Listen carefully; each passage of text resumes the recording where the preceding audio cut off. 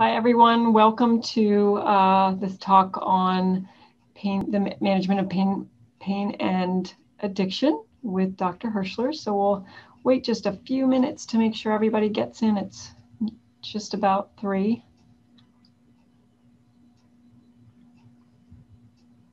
Let me know when you want me to get started. Yeah, you know, oh, the couple people still coming in. So just a reminder, this is Zoom format. So if you have questions, um, you can either put them in the chat on the, the webinar platform and they'll be uh, moved over so we can see those, or you can actually unmute yourself and ask a direct question. Um, and whatever your preference is. If you're not speaking, uh, just please mute yourself. But we'll go ahead and, and get started. So Dr. Herschler is um, an addiction psychiatrist here in the Department of Behavioral Medicine and Psychiatry at Chestnut Ridge Center, and also works in our pain clinic with individuals with co-occurring pain and addiction, and works in um, our COAT clinic with individuals with opioid use disorder, prescribing buprenorphine. So a lot of experience working with this population, and thank you, Dr. Herschler, for coming to speak with us about this today. Thank you, Laura. Good afternoon, everybody. So I wanted to start out talking about, you know, my training. I, I did my addiction psychiatry fellowship in 1997, and I did it at the University of Maryland in Baltimore. And at that time, there wasn't much emphasis on pain in the management of patients with addictions. And then we had the opioid epidemic, and people kind of woke up and realized how important this comorbidity is and and are really getting focused on how to address the co-occurrence of both pain and addiction. And so I'm going to talk about the safe and effective management of those. So this is the uh, Center for Integrative Pain Management here at West Virginia University. And uh, I work there, uh, part of my, I wear several hats at WVU and part of my responsibilities is providing psychiatric care. And I work for the high risk pain clinic at the high, at the Center for Integrative Pain Management. And I'll talk more about what that involves exactly. And so uh, this center uses a multimodal approach to pain. And so that means that we're not just using medications, but we have chiropractic and massage and acupuncture and movement therapy and a dietitian and psychotherapy and psychiatric care. And then we have injections and pain pumps and uh, other medications that are used. There's a lot of approaches, a multimodal approach to the management of pain. So today for my talk, I'm going to cover uh, several core concepts. I'm going to talk about some definitions, uh, the epidemiology of pain and addiction or the prevalence of those uh, disorders, uh, neuroscience behind pain and addiction, the psychosocial aspects, I'm going to talk about the opioid crisis, and you'll hear from Nora Volkow or Volkow, I think is how she actually properly pronounces her name, who's the director of NIDA. Uh, I'm going to talk about marijuana and CBD oil and its management in pain. I'm going to talk about integrative pain management, or kind of the gold standard of approach to pain. I'm going to talk about buprenorphine or Suboxone uh, in the high risk pain clinic, which is a way that we address uh, people with risk of addiction and uh, also severe pain. And then I'm going to talk about the self management of pain. So uh, often patients don't know what to do for themselves in the management of pain. And there's actually a lot of knowledge that we have about how people can work to self manage their pain and be active in their treatment, not just passive recipients of healthcare. And then I'm also going to talk about how patients can help themselves achieve and maintain abstinence. So patients can also be active in the management of addiction and not just passive recipients of, of addictions healthcare. And then I'm going to talk about uh, the neuroscience behind recovery and kind of the modern view of pain recovery and addiction recovery, and talk about why neuroplasticity is so important and competitive neuroplasticity and, and why recovery works. And then I'm going to talk about some future directions, and then I'll, I'll make some conclusions. And I, I want to let you guys know I welcome any any questions or comments you have. during this talk, and uh, or you can save things till the end. But let, let's just have a discussion here. So here's some definitions. I'm sorry for the wordy slide. Uh, pain is basically an unpleasant sensory and emotional experience. And it, it is from the actual poten- potential tissue damage. And uh, so it's a, a physical experience, but it's also an emotional experience. Now, addiction is really about brain reward and motivation and memory and dysfunction in the circuits that lead to biological, psychological, social, and spiritual manifestations. And the key element of addictions is loss of control. That behavior gets out of control, the reward pathway is being affected, and and uh, and people lose control of the behavior, and that can lead to all kinds of problems associated with the addiction or consequences. And they tend to go through cycles of relapse and remission. And uh, without engagement in recovery and treatment, it can result in disability and even premature death. So, what about some definitions for pain? So, acute pain is usually straightforward. This is the kind of pain where we know what the underlying condition is, and the pain is treated, and, and the condition is treated, and the pain usually goes away as expected. But chronic pain is where pain persists. And so you're looking at pain for three to six months or longer. And in these cases, sometimes the illness or injury is already healed and pain persists anyway or sometimes there's no known cure for the disease and they're still having pain. And then the pain can fall into kind of different categories or types of pain, or what's the quality of the pain. And so you can have somatic pain, which is lo- well localized, it's attributable to specific structures, and can be stabbing, aching, or throbbing. And then there can be visceral pain, like the pain associated with a surgery after surgery someone has adhesions or they were in a motor vehicle accident and they damaged their spleen.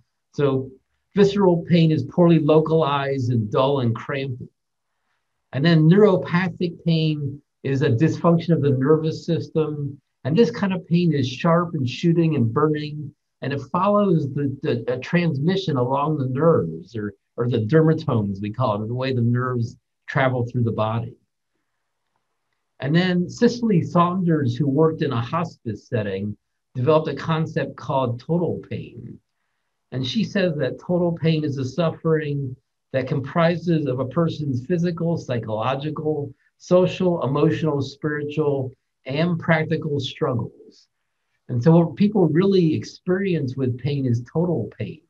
You know, that pain may be localized to a body part, but there's an emotional component, and there may be things affected in their life and they may have other problems associated with what's happening in their lives. And so it's a total pain situation uh, that really is important, especially in addictions, because people are getting relief from their total pain with a medication like an opiate, and that really leads to out of control behavior.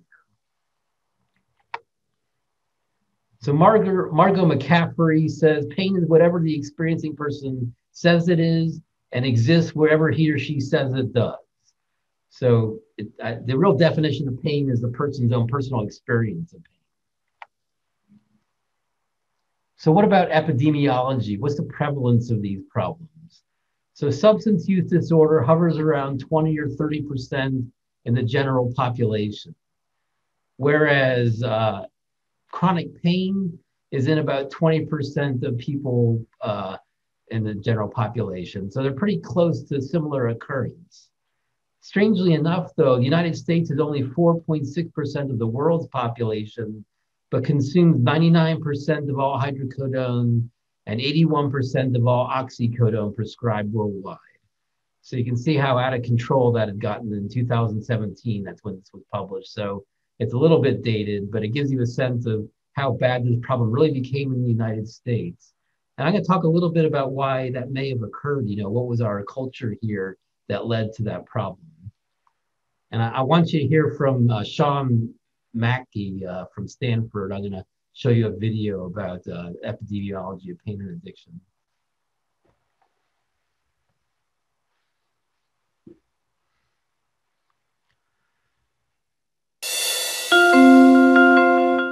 This is Doug Brunk reporting from a psychopharmacology conference sponsored by the Nevada Psychiatric Association in Las Vegas. Comorbid chronic pain and substance abuse are thought to be highly prevalent, but researchers are trying to better understand the magnitude of the problem. Well, what we probably know is that the numbers that we have are uh, an underrepresentation and underreporting. We know that uh, based on the recent Institute of Medicine report on pain, that about 116 million Americans suffer from pain in this country. And we've got some data that suggests that perhaps 10% or so of patients with chronic pain have a co occurring addictive disorder. And so if you take now the flip side of that and you look at the numbers of patients who show up, the millions of patients that show up with a primary addictive disorder, you see actually a higher percentage of patients who have chronic pain. Typically about 30 to 60% of those will have chronic pain. So we believe that this is a real problem, this co-occurrence, and that these patients in particular tend to be extremely challenging to take care of. The data that we do have suggests that they cost 10 times more to care for than an average patient and more than three times more than a patient with chronic addiction. The one take home message is we need da- better data to actually figure out uh, just how big this problem is to do something about it. First thing is to develop a solid differential diagnosis for your patients. Secondly, is to identify any psychiatric comorbidities that may need to be addressed with that.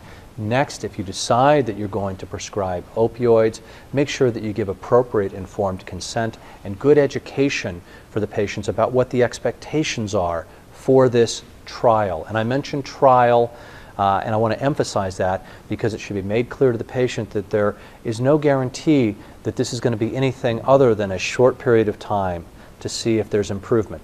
To then document and reassess and redocument the benefits of these medications.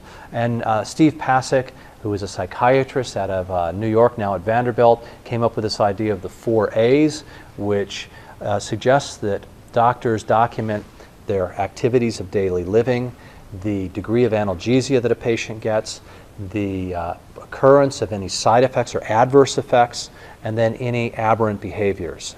Document those four A's, use that as a guide as to whether you should go up on the medications, hold steady, or come down, and then to use a number of risk mitigation strategies, including uh, your own state's uh, prescription monitoring programs, which I encourage everybody to avail themselves of, uh, appropriate urine drug testing and random screening for patients who are on uh, opioids.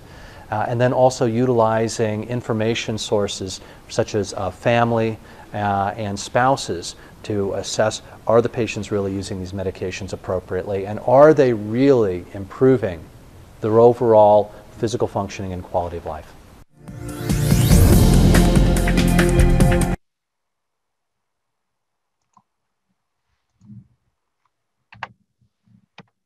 All right, so just, just some thoughts. So that recording was from 2012. And I liked what he said about the epidemiology, but that was a Stanford doctor who was talking about using opiates in people who have comorbid pain and, and addiction. And our thinking is really changing about whether that's appropriate uh, with someone with a high risk of addiction if we want to be, you know, offering them opiate medications, uh, you know, traditional uh, mu opiate receptor agonist opiate medications uh, for for pain. And so I'm going to talk more about what the thinking is now, at least here at WVU. All right, so let's talk about the neuroscience of addiction. So there's three stages in the neuroscience of addiction. You got the binge intoxication stage. I guess you guys have probably heard plenty about this, but so that's in the basal ganglia or the nucleus accumbens, where the reward center of the brain is. And then you have the withdrawal negative affect stage, which is in the extended amygdala. And then lastly, you have the preoccupation anticipation stage, which takes place in the prefrontal cortex. And so those three elements are the basic uh, stages of the addiction cycle. The neuroscience of pain is a little bit different.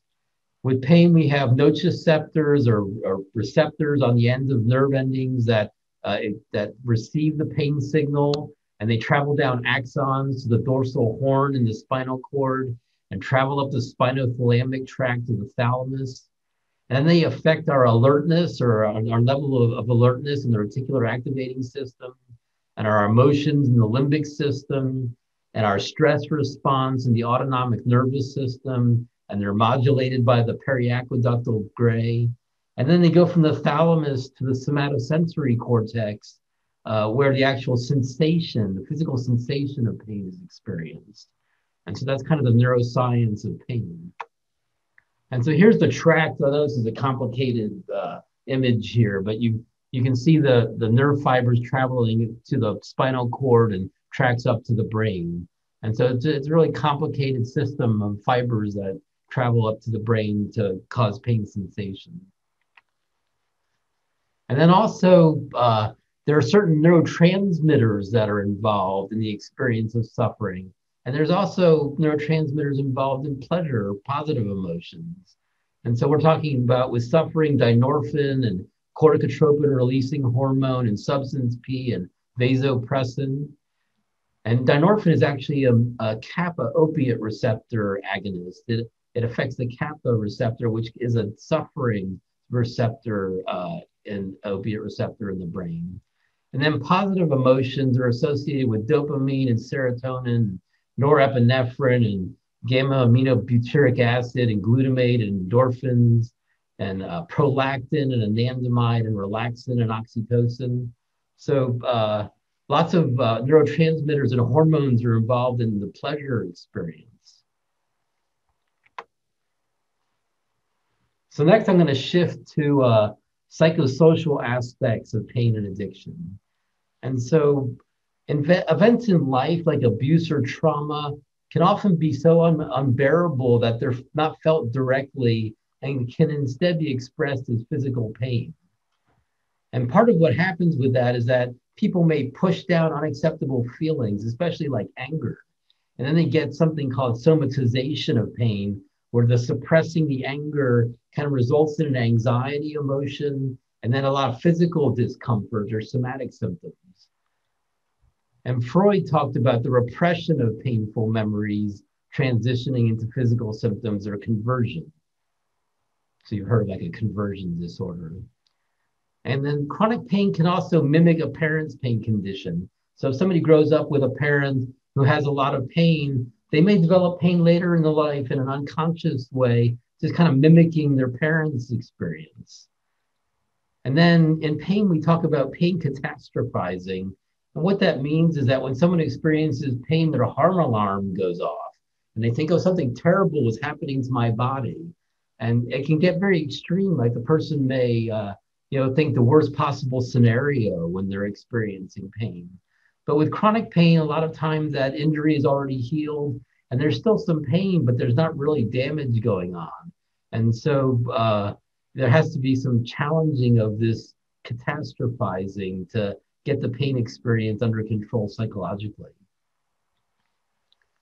And then also, pain is a form of communication.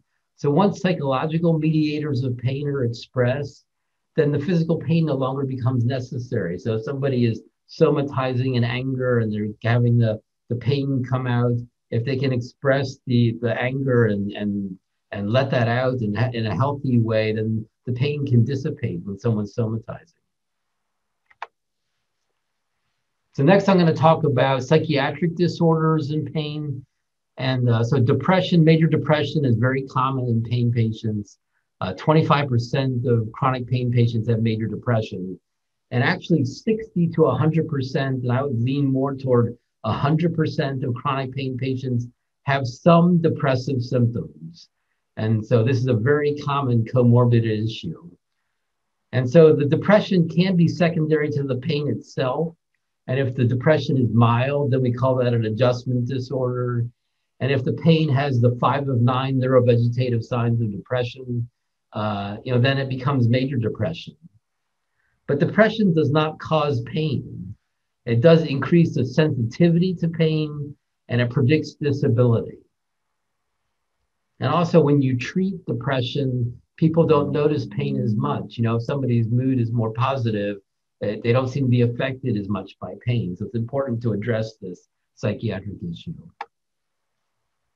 And then anxiety occurs in 30% or more of patients with chronic pain.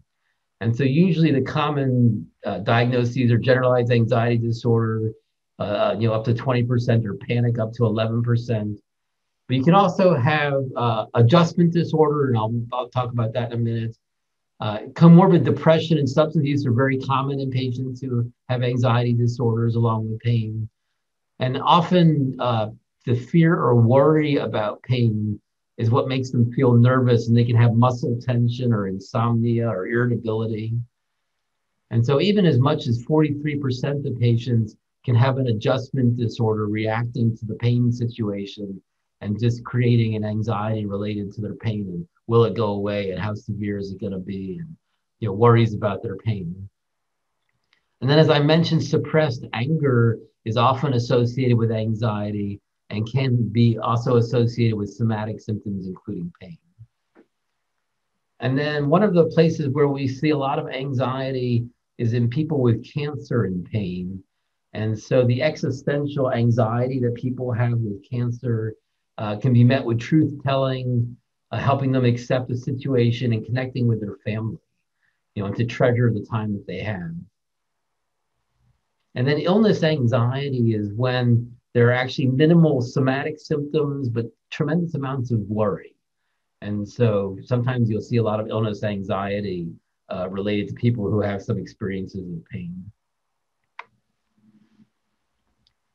And then post traumatic stress disorder is also common in pain patients and addictions patients. And so 7 to 39% of patients with chronic pain have post traumatic stress disorder. And so they have to be exposed to an extreme traumatic stressor. And pain after the traumatic event is a risk factor for PTSD. So, uh, you know, patients who uh, are in a motor vehicle collision and, and have a lot of trauma and pain are more likely to slip into a, a PTSD picture than somebody who doesn't have a lot of pain associated with their injuries. And then in PTSD, there's three dimensions of symptoms. You've got re-experiencing like intrusive recollections and nightmares and cues of events uh, triggering recollections and avoidance where the person avoids people and places and things that remind them of the event. And then hyperarousal, like an exaggerated startle or hypervigilance. So those three categories of symptoms have to be present uh, to make a diagnosis of PTSD. And then personality disorders are also common in pain. And we, of course, know that in addictions as well. And so the key to personality disorders is differentiating states and traits. And so a state, like a manic state in somebody with bipolar disorder, is a brief episode. It's a, it's a, the period is just not that long lasting.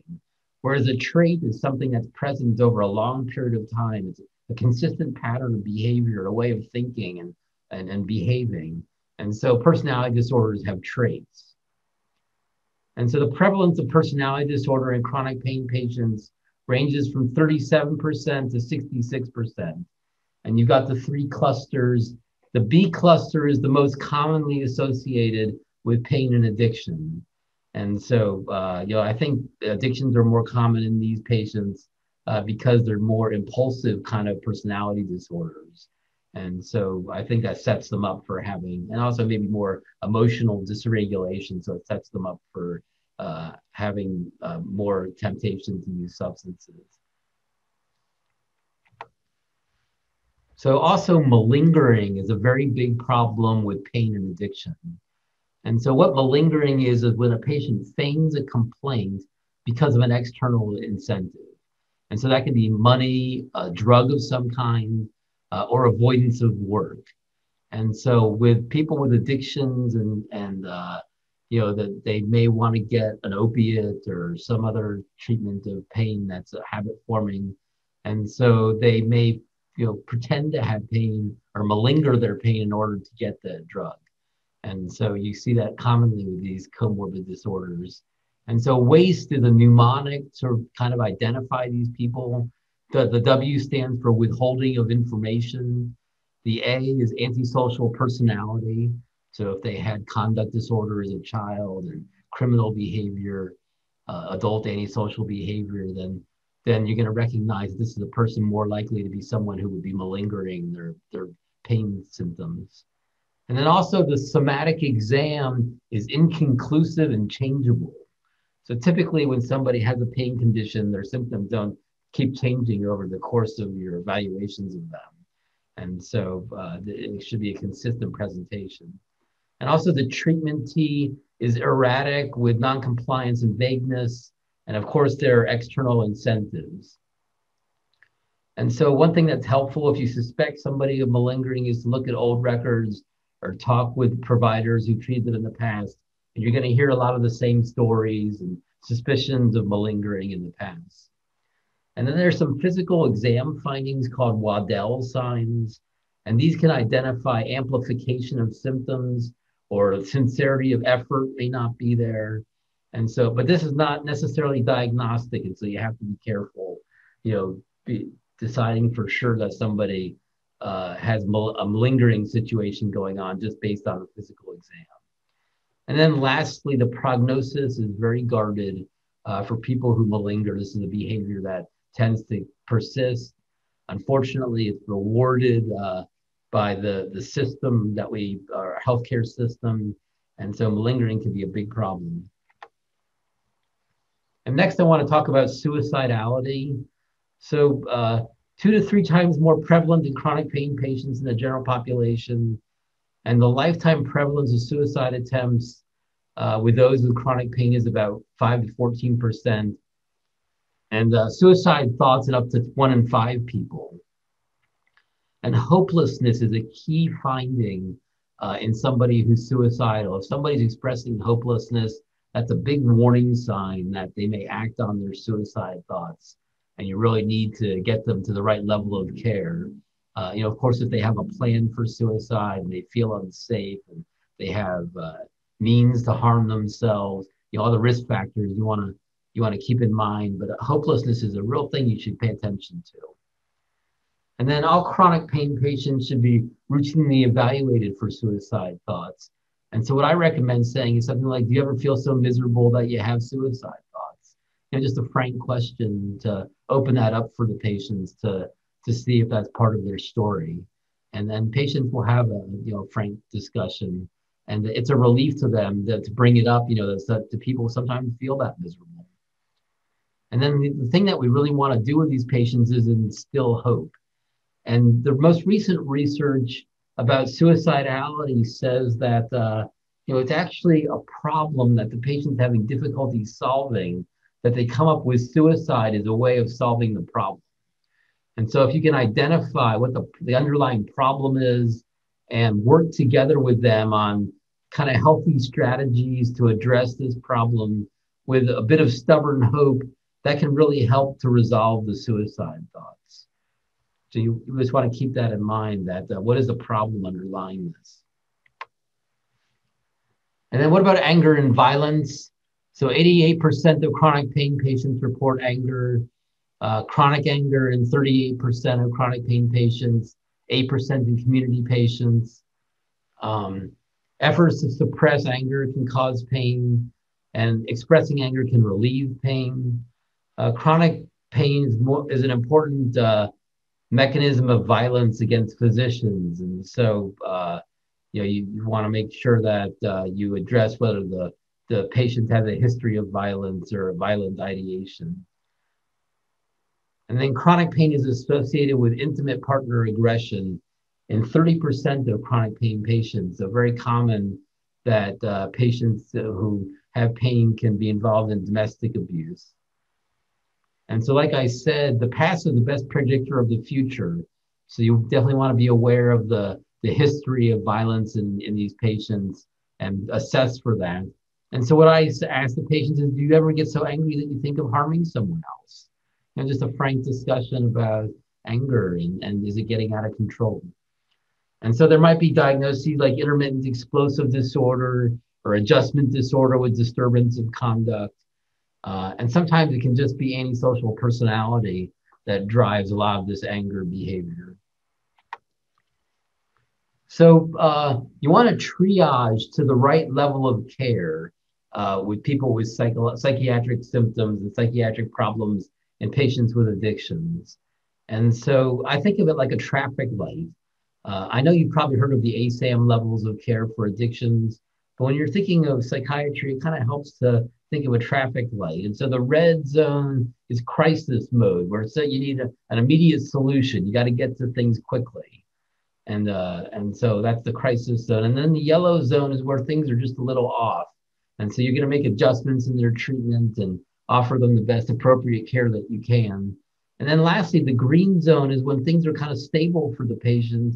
And at that point, you want to kind of be working on, uh, you know, uh, building a flourishing life. You know, how can they improve their relationships and their work and, and better their health even. So you want to think about how can the person flourish more. And so you want to think about where do these patients fall on this kind of traffic light continuum and triage them to the appropriate level of care that they need. All right, so next I'm going to talk about the opioid crisis. Uh, Nora Volkow uh, is the director of NIDA, and uh, you're going to hear a little bit about her explanation about how this happened to us. So let me click on her video here.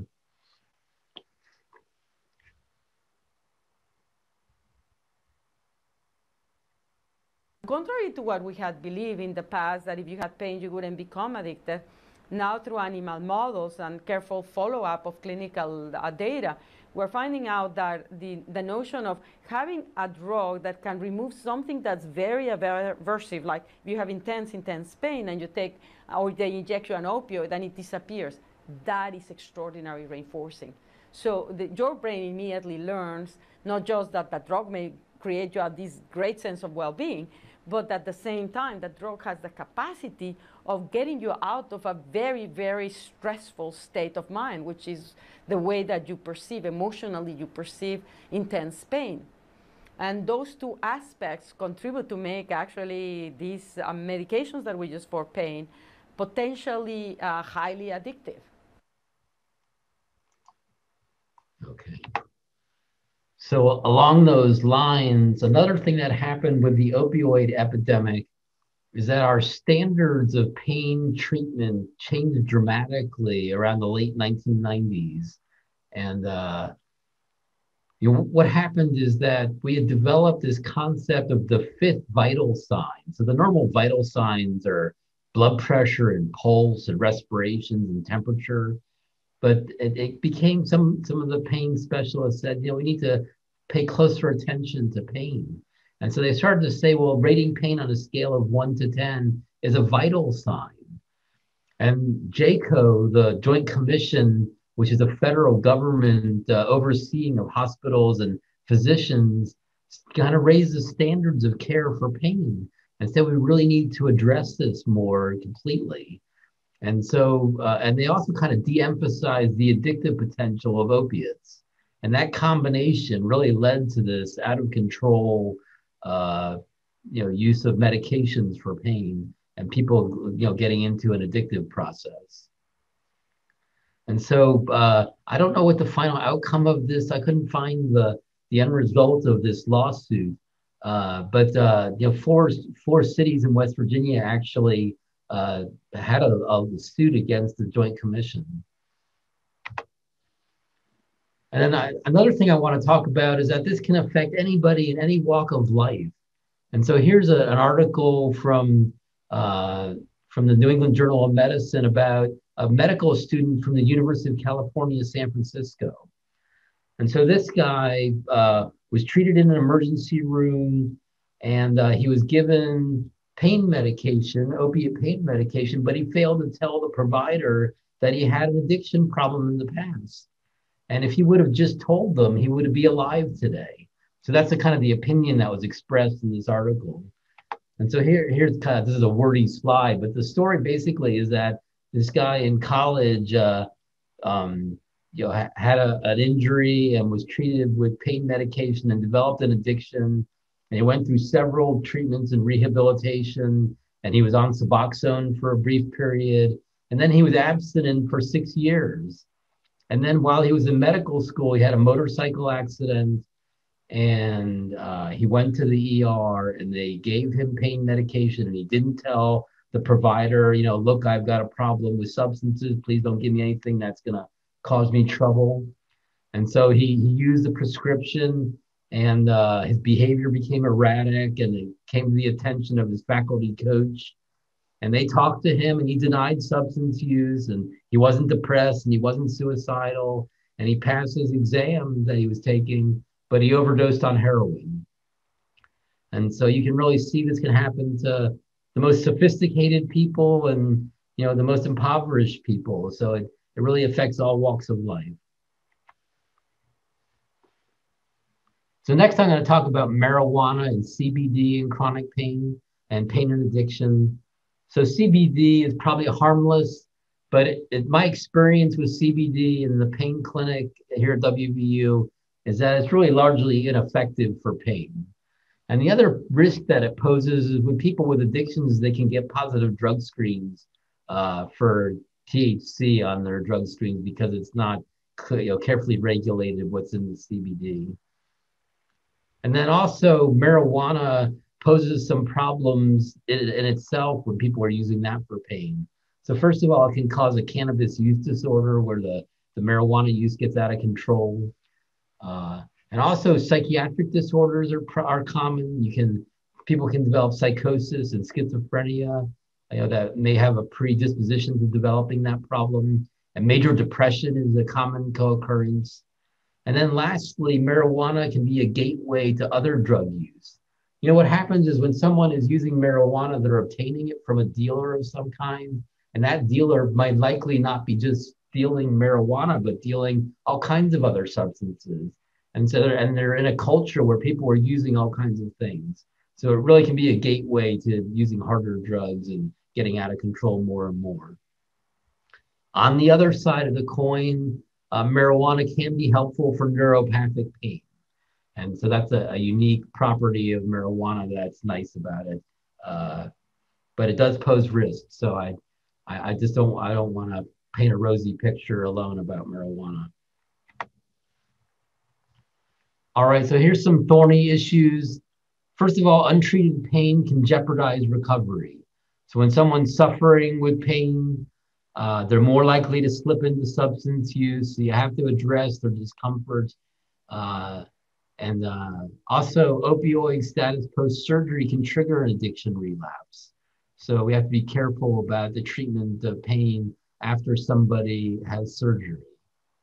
And then we talked about malingering and exaggerating pain to get medication. And you all know about diversion, abuse, and trafficking of opioids. And then pseudo addiction. I don't know if you guys have heard that term before, but pseudo addiction is when somebody is seeking more pain medication, but it's really because their pain is not adequately treated. It's not because they have a, a substance use problem and they're they're out of control with the substance use and the intoxicating effects of substances. So it's kind of a slippery slope, uh, you know, that pseudo addiction process. And then with opiate medications, as you push up the dose of an opiate, uh, you can get to something called hyperalgesia. And what hyperalgesia is, is that the, the, the brain gets kind of sensitive to painful stimuli. It's called central sensitization. And so the slightest little discomfort is an intensely painful experience as the pain, as the, the brain gets more and more sensitive to discomfort. And so what happens is the brain kind of practices what it the things that it's doing. It gets better at what it does. And so if there's pain if there's pain sensations over a period of time, the part of the brain that's occupied uh, devoted to pain processing and pain sensation becomes larger and larger. And so you get that sensitization, that central sensitization. And then also uh, withdrawal hyperalgesia can happen. So when a patient is coming off of an opioid pain medication, the withdrawal can lead to pain. And then another thorny issue that I want to talk about is online clinician reviews. So as a physician, there are websites, Healthgrades, and there's a whole bunch of websites where the your general clientele will uh, rate uh, the quality of care that they receive. And so people with addictions and pain are a unique population that may be unsatisfied with the care that they're receiving because they may be seeking, you know, a, a rewarding, an addiction rewarding medication uh, when actually uh, you're trying to provide them appropriate medical care and give them the treatment that they need. And so you can get some pretty lousy online reviews. And here's an example. So here's a patient who is seeking ketamine who's currently prescribed benzos, opiates, and stimulants by another provider. And she just slammed me. And I, I knew it was her because I recognized the language she used in the in the in the online review. It was the same kind of stuff that she said to me in person.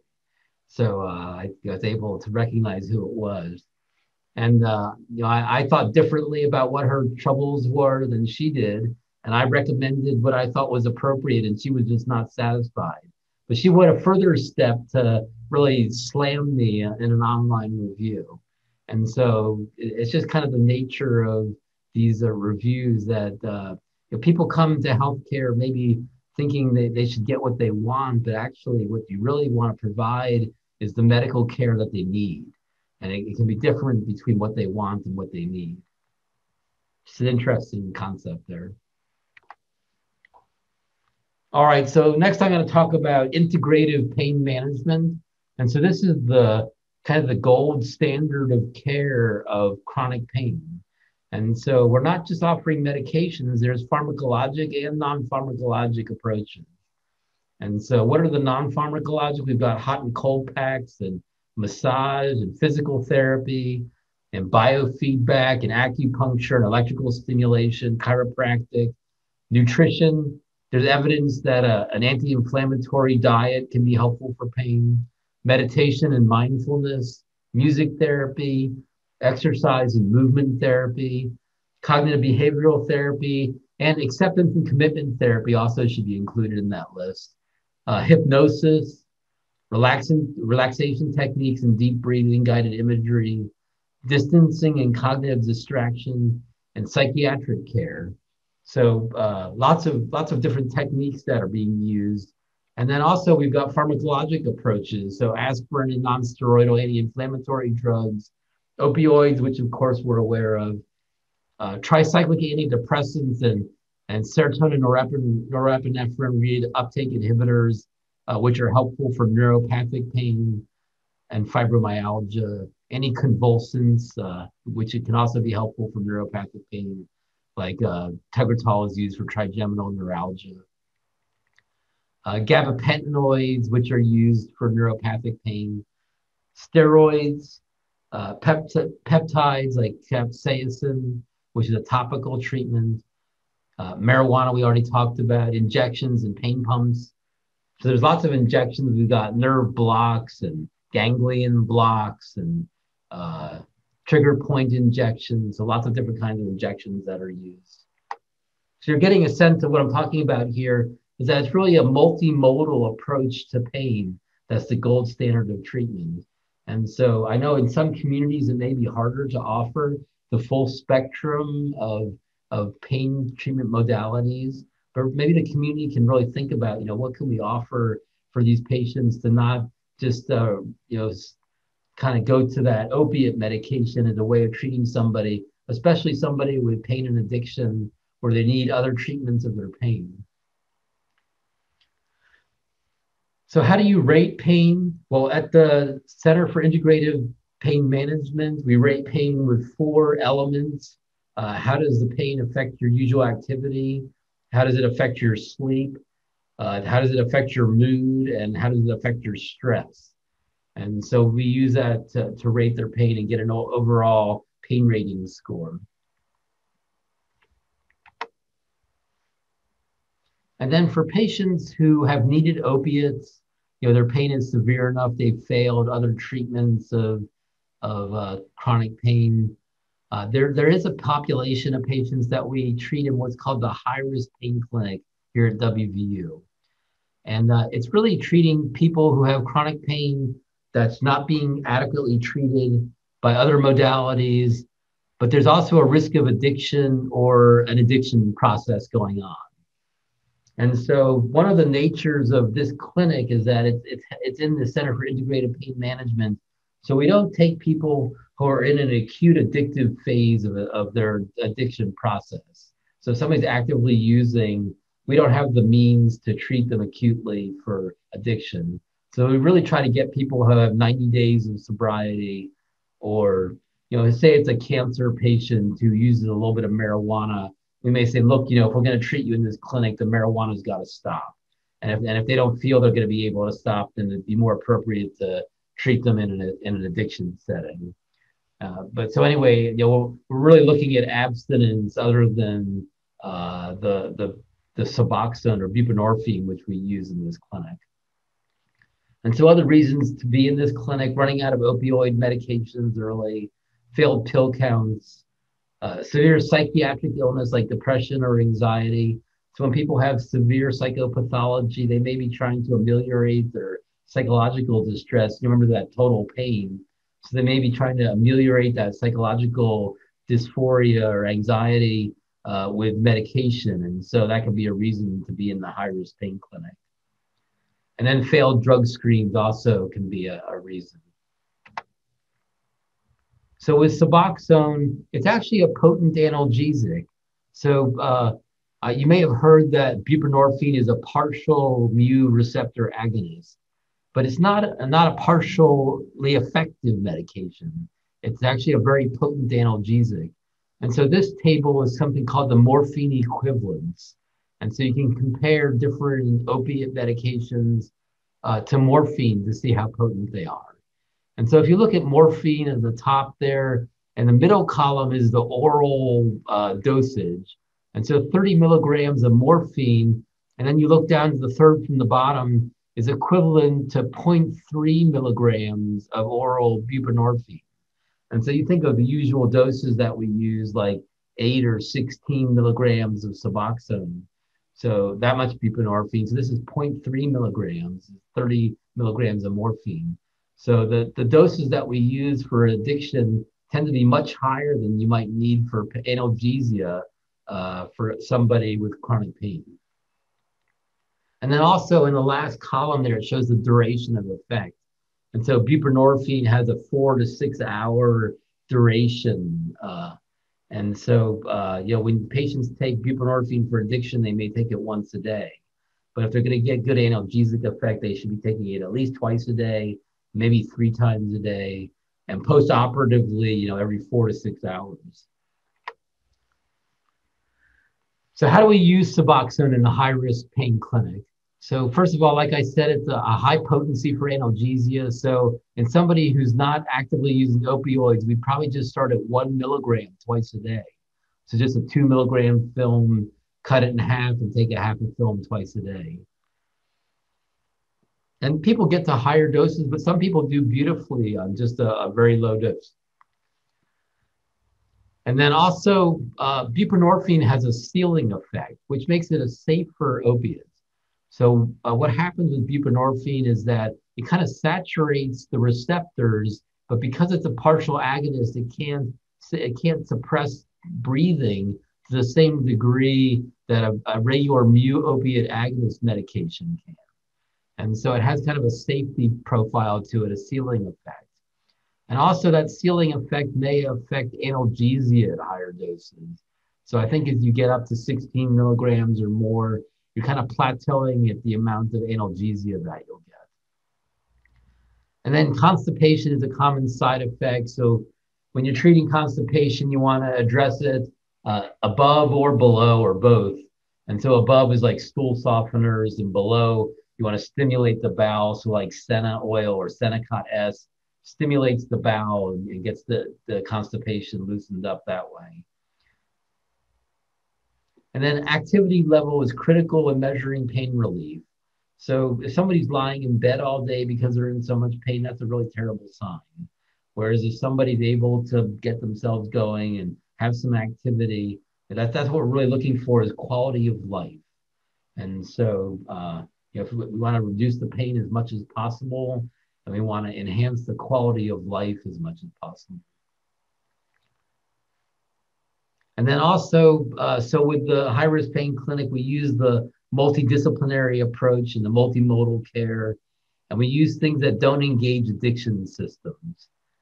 And we do use analgesic adjuvants, so patients may get uh, other medications uh, for pain besides Suboxone. And, and like I said, low dose Suboxone is often adequate.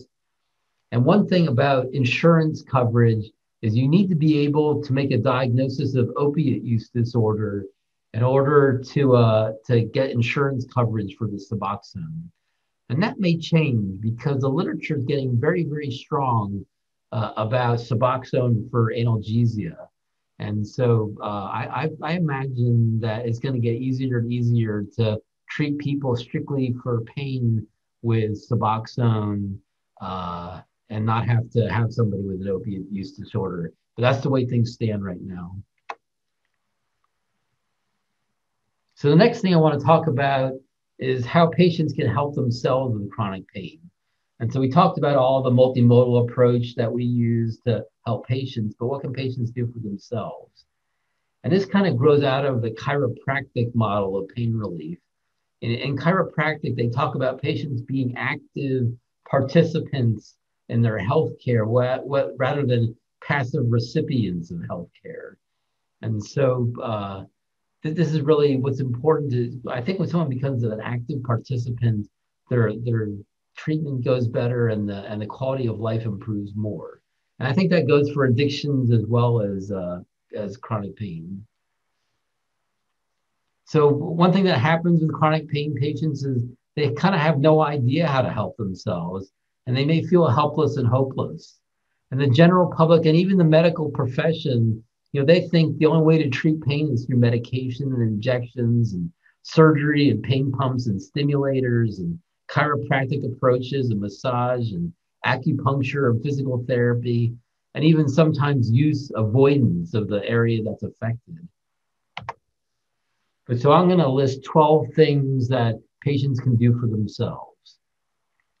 So the first thing is expectation management and realistic goal setting. And so when patients have unrealistic kind of expectations about what's going to happen with their pain, uh, it really can make it get out of control. It makes it much more unbearable. So they have to kind of shape their expectations. You want to improve things, but maybe don't expect total relief of pain or total improvement of functional capacities. And so you have to have kind of a realistic goal setting. And then also differentiating good pain from bad pain. So good pain is like the pain that someone gets from fitness uh, kind of activities or you know anything that has a silver lining in the pain. Whereas bad pain is really about pathology. And so uh, you know, patient needs to recognize does this pain have a silver lining in it, or is it just you know pathology and that's it.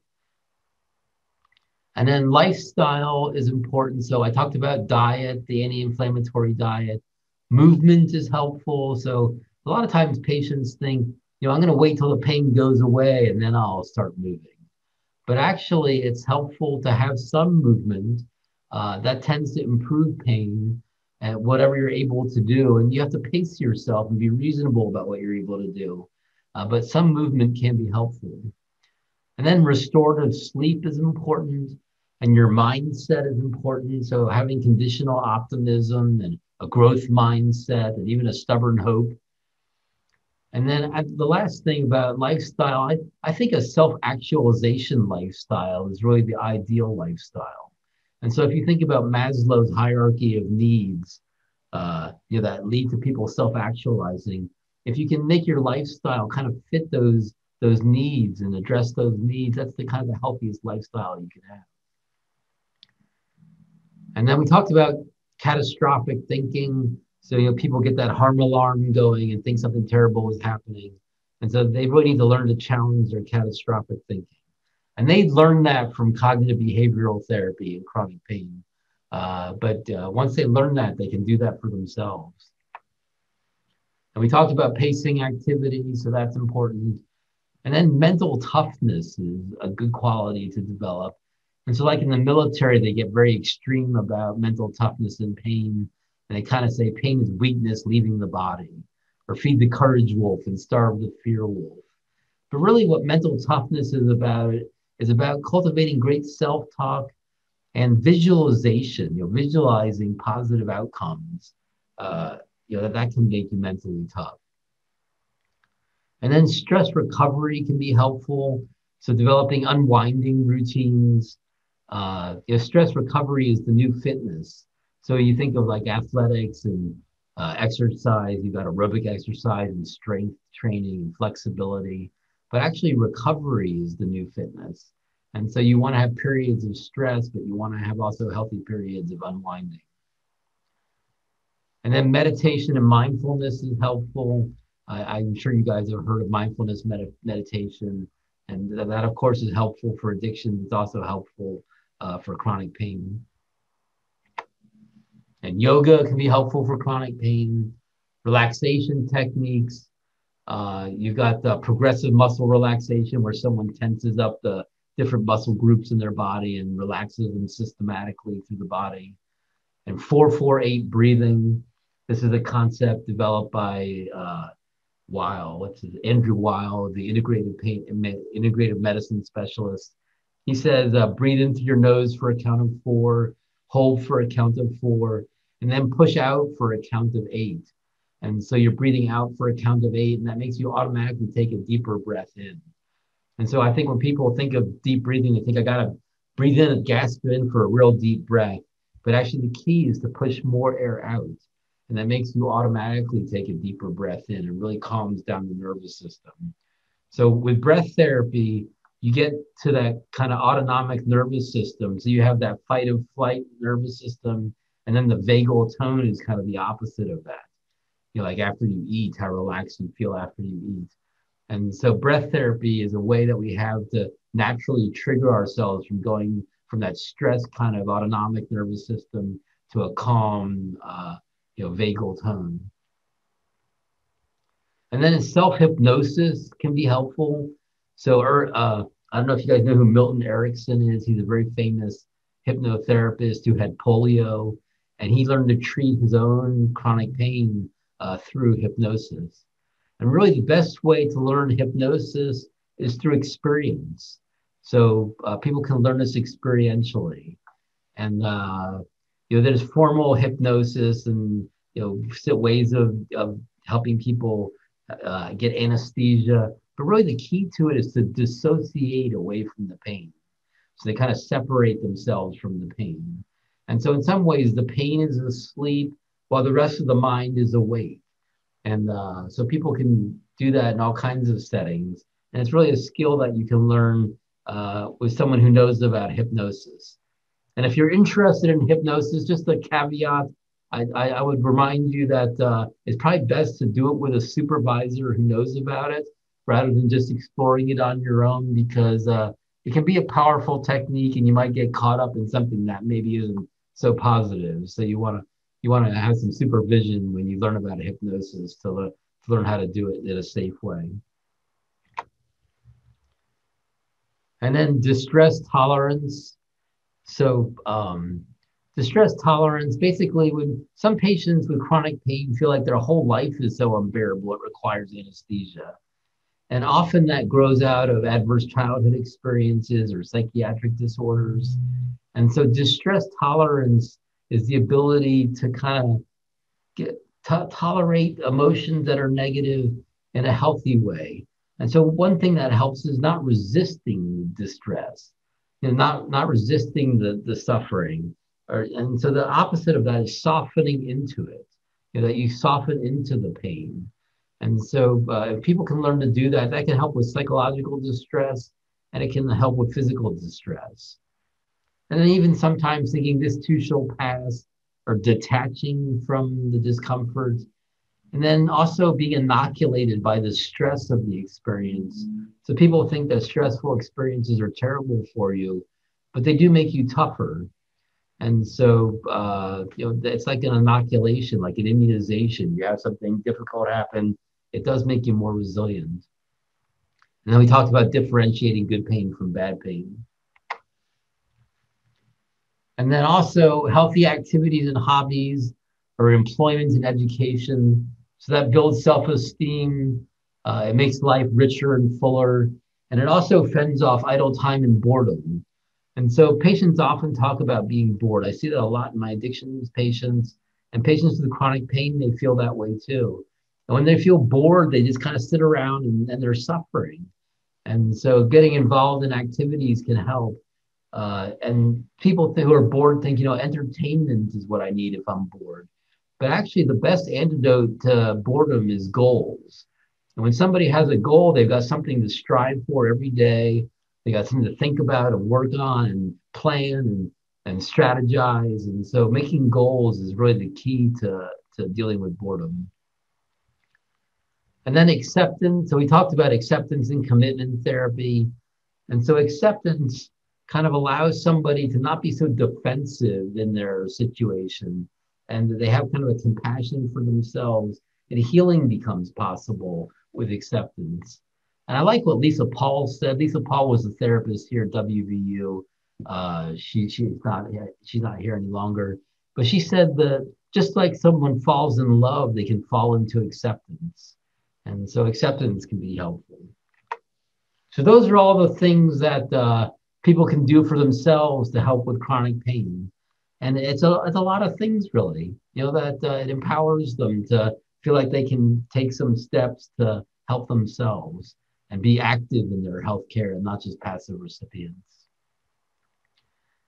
And then also there's ways that patients can help themselves achieve and maintain abstinence. So probably the most important thing is motivation.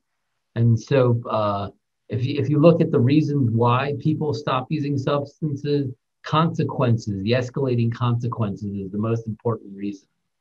And so if you can get patients to reflect on, you know, this is kind of, there's a lot of room for improvement. I've, I've done some things here that uh, could be improved. You know, if they can see their consequences and play the tape through or think through the drink, you know, that helps them stay sober. And then surrendering. So this, that life doesn't work for me. You know, uh, just kind of accepting, hey, that, that, that's not an option any longer. I tried that, it didn't work. And then preparing for high risk situations for relapse. So that comes from the cognitive approach to, to addictions. But patients can learn to do that for themselves. And once they learn that from a therapist, they can do it for themselves. And then social group reconstruction is so important. So if you think about all the phone numbers that somebody has in their in their uh, in their cell phone, if they get the numbers out of people that are drug dealers and people who they use with, you know, that can be a big boost to helping them maintain recovery. And so social group reconstruction is super important. And then also good recovery environment. So are you in an environment where there's lots of people who use substances or triggered you to use substances? And so creating a good recovery environment is an avenue that patients can take to improve their chances of, of staying sober. And then establishing personal and family security. So I think particularly of drug dealers who struggle with this the most, you know, that it's hard to have a secure sense of home when people want to rob you and take your the drugs that you have and threaten you. And so uh, having a personal and family security is so important. And then stress recovery, we talked about unwinding routines, distress tolerance, healthy activities and hobbies. And then also a radical shift in identity. So when, when a patient thinks of themselves as a pothead, you know, that kind of reinforces the behavior to use marijuana or, you know, any kind of a stunted identity that kind of reinforces substance use as a problem. And so if patients can shift that identity to a strong and distinctive identity, uh, that can really change how they how they behave. And then lastly, purpose. So living in a manner in alignment with one's values, that can be really helpful. All right. So what about recovery? So the modern thinking about addictions recovery, this comes from uh, the Betty Ford Clinic. They said that recovery has three components: abstinence, well-being, and giving back. And so uh, chronic pain recovery is really similar. It's really the self-management of pain, well-being, and giving back. And so those kind of recoveries actually do something to the brain called self-directed neuroplasticity. And so what I mean by that is the brain gets good at what it practices. And so if you're practicing recovery, you know, if you're practicing abstinence and self-management of pain and well-being and giving back, the brain gets good at that. And it actually competes out uh, the, un- the unhealthy stuff because there's always so much cortical real estate. And so if the brain is getting more and more involved in healthy functioning, it competes away the pathological stuff out of disuse.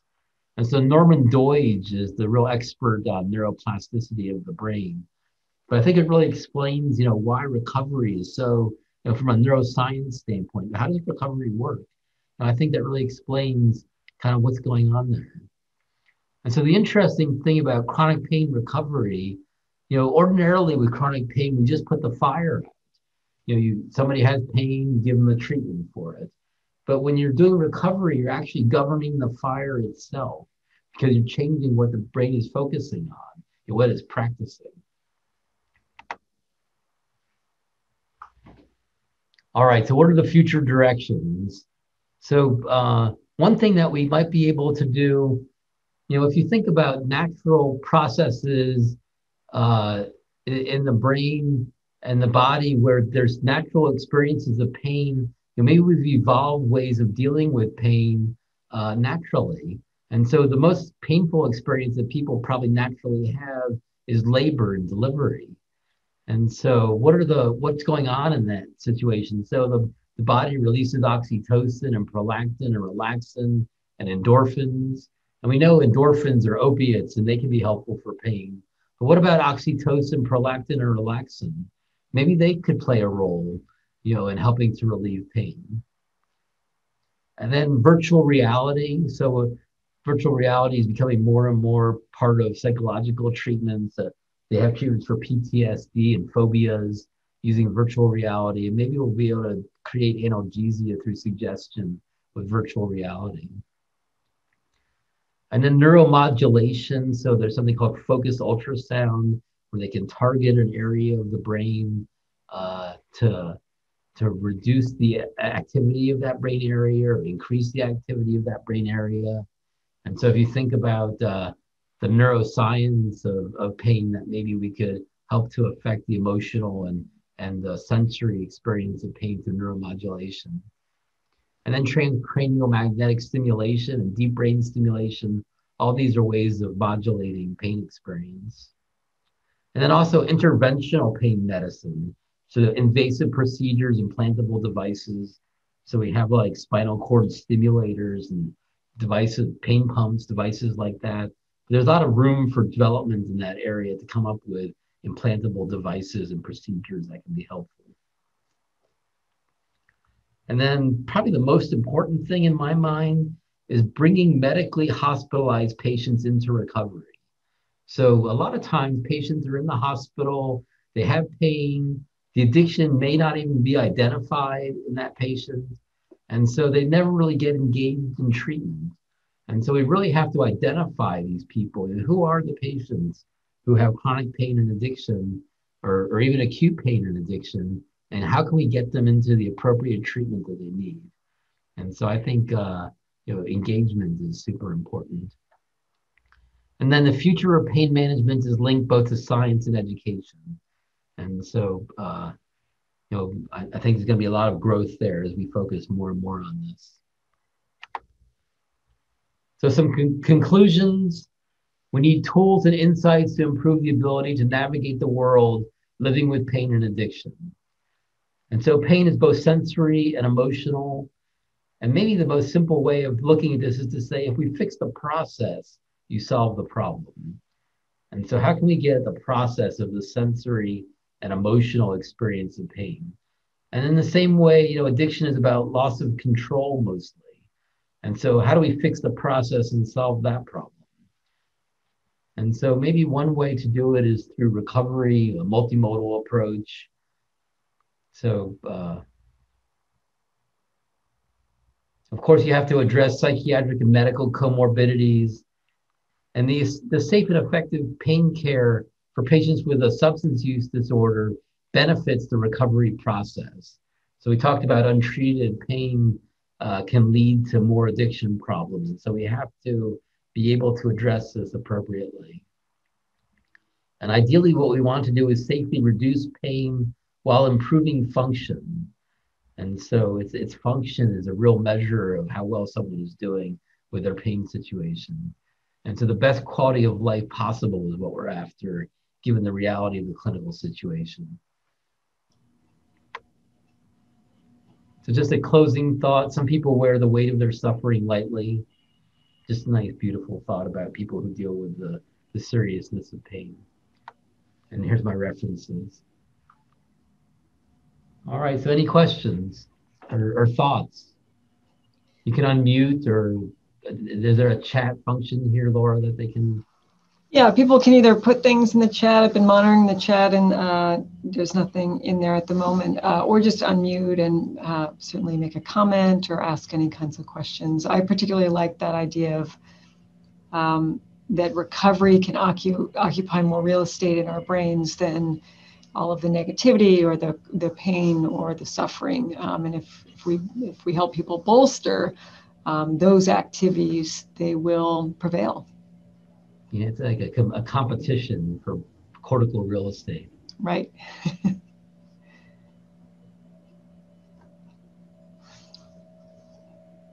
Any thoughts or comments or questions? I hope that was helpful. This is this is a serious matter that we're facing in our country.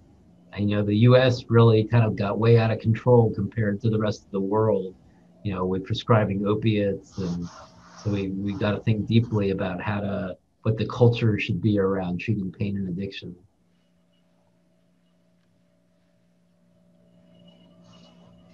And the, the quote that I always like is that um, pain is part of life, but suffering is optional, and to help people not have to be in a place of, of suffering um, and to increase functionality, as you said, is, is really important piece.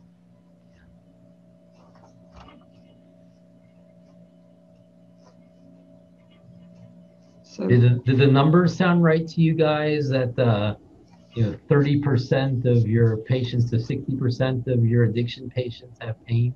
Does that seem like what you're seeing or what do you guys think?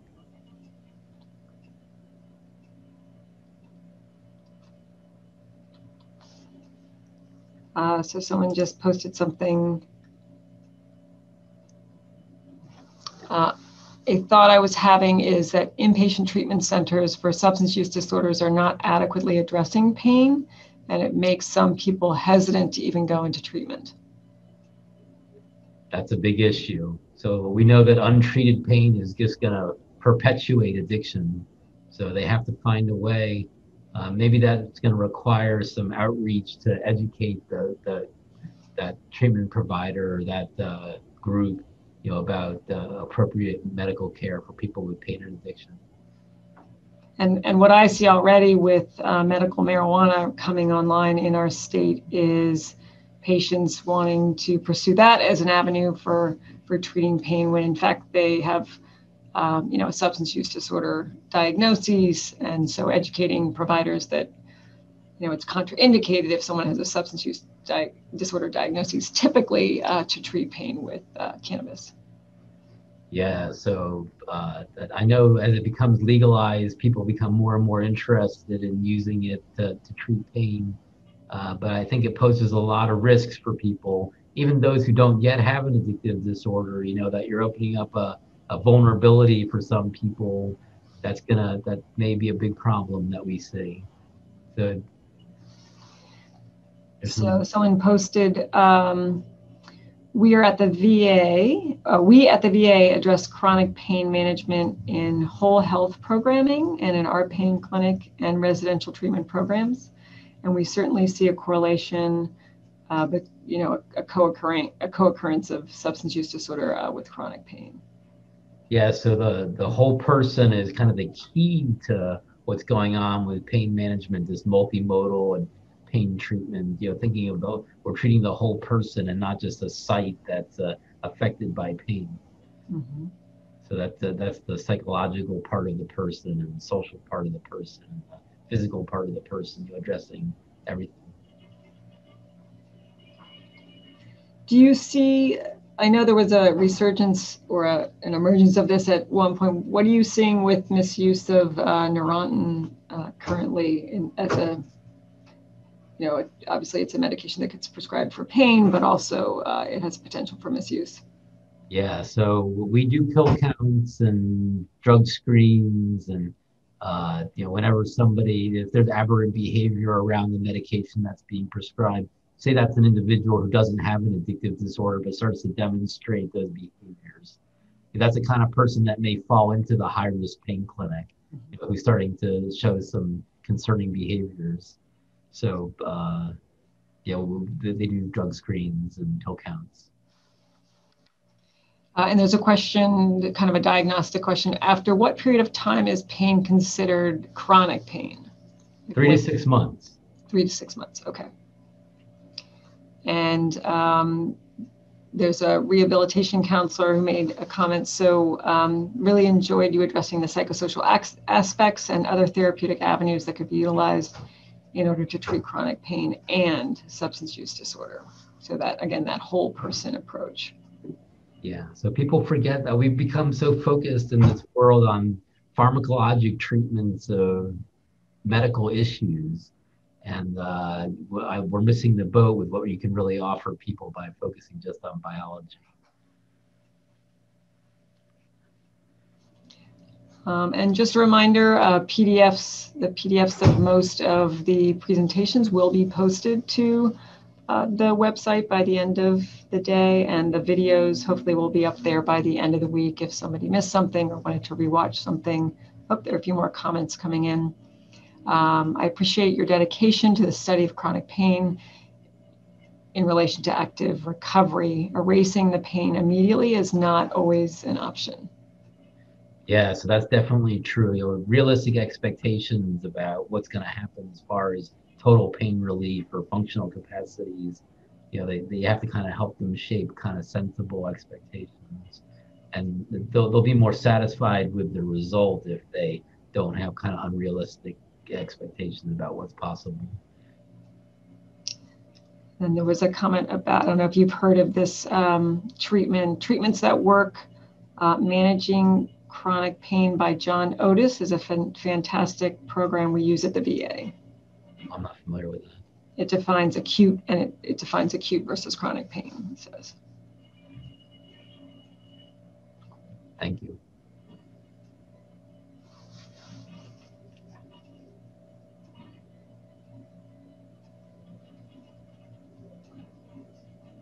Okay. Well, thank you very much, Dr. Herschler. We appreciate you being here today. And thank you, everyone, for attending the 32nd annual uh, ATI um, and for making it uh, interactive and, and positive. So appreciate all the work you guys do with the people you do it with. Absolutely. And don't forget about self-care. Uh, taking care of yourself is very important as well. Have a wonderful rest of your day. Take care, everybody. See ya.